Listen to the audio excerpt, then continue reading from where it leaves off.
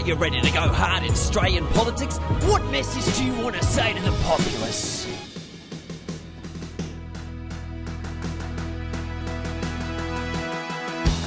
We have the chance to turn the pages over.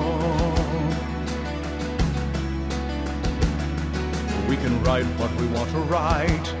We gotta make things leak so we can get much bolder.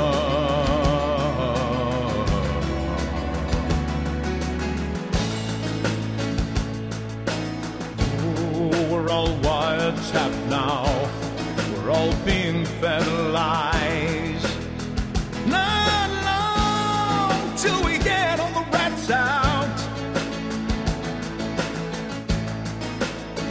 Once we turn on all the